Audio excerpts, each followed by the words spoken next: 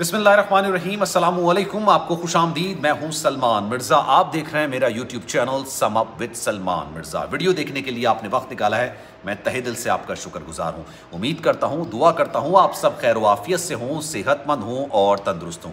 जनाब बॉलीवुड के आन जहानी अदाकार, खूबरू अदाकार, शानदार अदाकारी से करोड़ों दिलों के बादशाह बनने वाले अदाकार, जो इस वक्त अब इस दुनिया में नहीं है। सुशांत सिंह राजपूत जब उनकी मौत की खबर आई थी तो उनके फैंस एक ऐसे सदमे से दो चार हो गए थे, जिसको आज तक वो कबूल नहीं कर पा रहे। सुशांत सिंह राजपूत की मौत के इतने तवील अरसे बाद इस बात का हतमी नतीजा नहीं निकाला जा सका कि क्या उसकी मौत वाकई में खुदकुशी के नतीजे में हुई थी या एक मनसूबाबंदी के तहत, सोची समझी साजिश के तहत उसको मौत के घाट उतारा गया था। जब उसका कत्ल हुआ, चौदह जून को यह खबर सामने आई थी। उससे एक रात पहले अब यह इंकशाफ हुआ है कि चार लोग उसके घर के अंदर आए थे। उन चार में से जो एक बंदा था, एक शख्स था, वो इंतहाई ज़्यादा सियासी असर और रसूख रखता था। उन चारों से सुशांत सिंह राजपूत की बहस हुई, मुठभेड़ हुई, बातचीत हुई और उसके बाद हाथापाई हुई। फिर उन चारों ने उस सुशांत सिंह राजपूत को तशद का निशाना बनाया, मौत के घाट उतारा। लेकिन मौत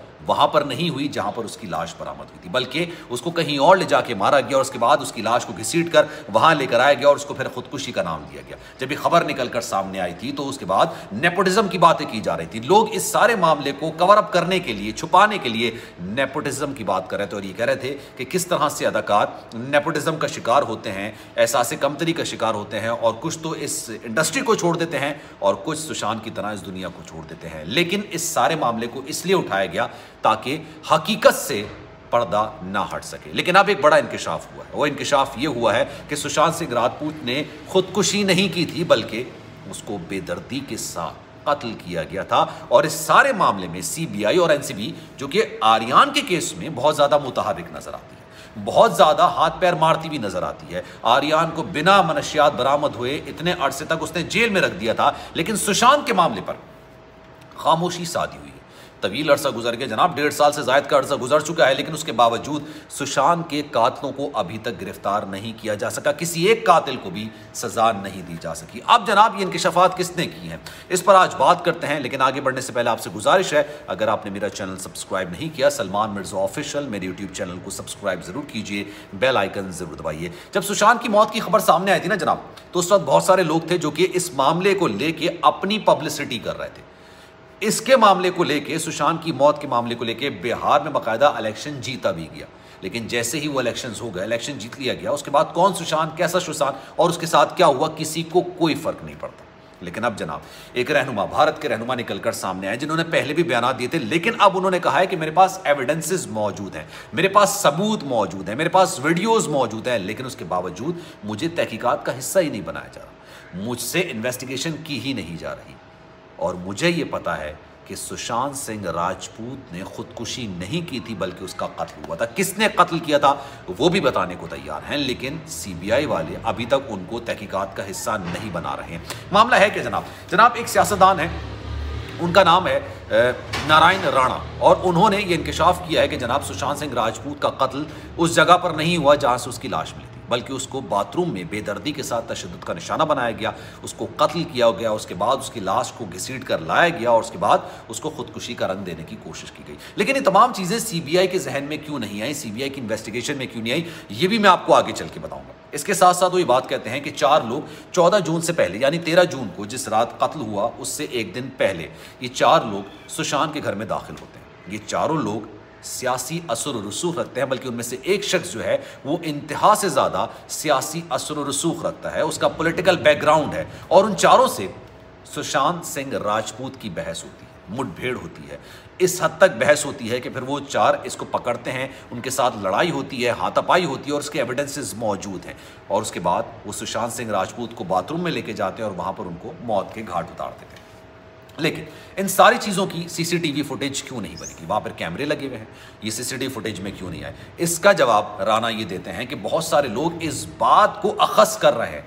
इस बात को पर्दा डालने की कोशिश कर रहे हैं कि सुशांत सिंह राजपूत ने खुदकुशी क्यों की थी? नेपोटिज्म का नाम देने की कोशिश की जा रही है। कुछ लोग तो ये कह रहे हैं कि जनाब उसके पास फ़िल्में ही मौजूद नहीं थी। ऐसा नहीं है। सुशांत के पास फ़िल्मों के अंबार लगे हुए थे और उन्होंने अपनी खुदकुशी से कुछ अरसे पहले, उनकी मौत से कुछ अरसे पहले एक ब्लॉकबस्टर फ़िल्म भी की थी और उसके उन्होंने करोड़ों रुपए लिए थे। तमाम आसाइशें उनके पास मौजूद थी, लेकिन उसके बावजूद ये रंग देने की कोशिश की जा रही है कि सुशांत सिंह राजपूत ने खुदकुशी की थी। अब जनाब वो बताते हैं कि चार लोग जो उस घर में दाखिल हुए, उन्होंने सीसीटीवी कैमरों को खामोश किया, यानी उनको डेड किया, उनको ख़त्म किया और सीबीआई भी इस सारे मामले में खामोश बनी हुई है। वो इस सारे मामले को सिर्फ़ और सिर्फ़ खुदकुशी का रंग देने की कोशिश की रही है और ये भी बताया जा रहा है कि जनाब, ये हालात पैदा करने के लिए कौन कौन जिम्मेदार है? यानी कत्ल के लिए नहीं, खुदकुशी करने के लिए हालात पैदा करने के लिए कौन कौन जिम्मेदार है? सिर्फ़ उनको गिरफ़्तार किया गया। लेकिन उन चार लोगों को आज तक ना पूछा गया, ना गिरफ़्तार किया गया। अच्छा फिर, क्योंकि ये तमाम बातें उन्होंने सोशल मीडिया में नहीं की। सोशल मीडिया में अक्सर लोग सीरियस नहीं लेते हैं। उन्होंने नेशनल टीवी पर बैठ के ये तमाम इंकशाफात किए। फिर उन्होंने चैलेंज किया, दावा किया कि भाई मुझे तफ्तीश के लिए बुलाया जाए। मेरे पास एविडेंसेस मौजूद हैं वीडियोस मौजूद हैं किस किस ने कत्ल किया है, उनके नाम मौजूद हैं, लेकिन मुझे सीबीआई बार बार रिक्वेस्ट करने के बावजूद तफ्तीश के लिए नहीं बुला रही। सीबीआई मुझसे इन्वेस्टिगेशन करने के लिए मुझे बुला ही नहीं रही है। मुझसे पूछगछ ही नहीं कर रही है। राणे वो शख्स हैं जिन्होंने पहले भी इन तमाम चीज़ों पर बयान दिए थे, लेकिन उसमें सबूत और एविडेंसेस माइनस थे। अब जो बयान दे रहे हैं, अब जो बात कर रहे हैं, उसमें वो कहते हैं कि मेरे पास सबूत मौजूद हैं, मेरे पास एविडेंसेस मौजूद हैं, लेकिन उसके बावजूद पता नहीं क्यों। क्या मसलहत है, क्या मजबूरी है, क्या मामला है? लेकिन वो कह रहे हैं, इस बात की तरफ़ दावा कर रहे हैं कि सारे मामले के पीछे सियासी रंग है जनाब। इसका नेपोटिज्म से, इसका काम मिलने से, इसका डिप्रेशन से कोई ताल्लुक नहीं है।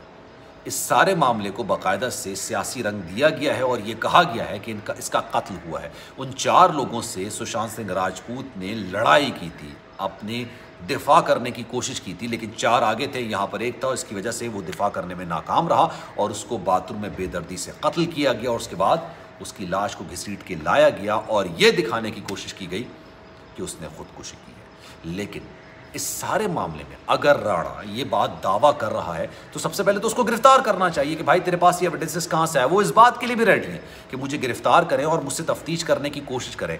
ना सिर्फ़ वो, बल्कि उनका बेटा भी बहुत ज़्यादा दावत कर रहा है। लेकिन पता नहीं क्यों। सीबीआई जो शाहरुख खान के मामले में इतनी ज़्यादा एनसीबी शाहरुख खान के मामले में इतनी ज़्यादा मुतहरक नज़र आती है, इस मामले में खामोश हुई है। अब इसकी क्या वजह है, ये मैं नहीं जानता जनाब। कमेंट सेक्शन में राय का इजहार ज़रूर कीजिएगा, वीडियो के हवाले से कमेंट ज़रूर कीजिएगा, सलमान मिर्ज़ा को दीजिए इजाज़त। जाने से पहले आपसे गुजारिश कि अगर आपने मेरा चैनल सब्सक्राइब नहीं किया, सलमान मिर्ज़ा ऑफिशियल मेरे यूट्यूब चैनल को सब्सक्राइब ज़रूर कीजिए, बेल आइकन ज़रूर दबाइए। ख्याल रखिएगा अपना, इंशाल्लाह अगली वीडियो में आपसे फिर मुलाकात होगी। अल्लाह हाफिज़।